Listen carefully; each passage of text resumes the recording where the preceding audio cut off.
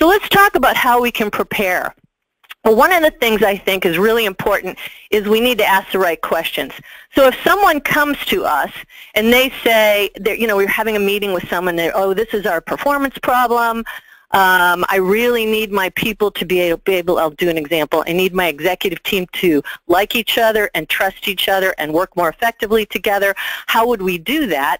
So some of us are very experienced. So the first question would be, what content do I already have that I can repurpose? Does anyone have a problem with that as a first question?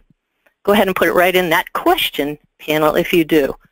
So is my first question, what content do I already have that I can repurpose?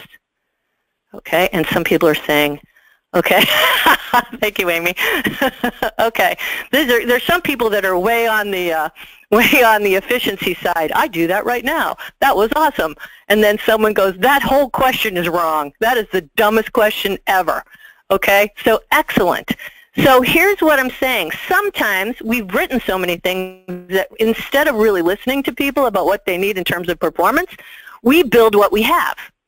So we basically put the, you know, the round peg in the in the square hole or whatever, vice versa, versa, right?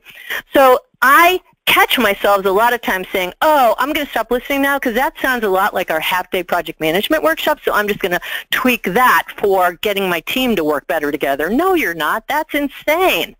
Okay, so I actually, you'll see, I don't think that is a good question. I think we have to, if we're really going to be ethical and do our job well, and I agree, someone says, no, that's a bad question, but it's usually what we do. And part of the reason we do it in our defense is we're busy, and we got a lot of stuff to do. So we try to find shortcuts and be efficient. Okay? So I don't think this is a good question, and I think we have to guard against it. Now, once we really know what they need, can we reuse objects? Of course. But we want to keep the outcome in mind. And so the questions, as you, many of you are saying in the question window right now, the question is instead then, what content do I already have that I can repurpose gets replaced by what do you want them to be able to do at the end of the session that they can't do now? And a lot of times that's coming from the leadership who requested it. What do you want to describe for me? What they'll be able to do at the end of the session that they can't do now before we build it okay? And the second question I love, which is a tricky one, is why did you call me today? Yeah, what did they want? Or maybe what do they want to be able to do? Depends on who your sponsor is. But I also like the question, why did this become a problem today? Did suddenly everyone go crazy on your executive team? No, so what's happened is this has been building, but there was some event that triggered this hysterical call today, and you need to know that too because of the politics involved.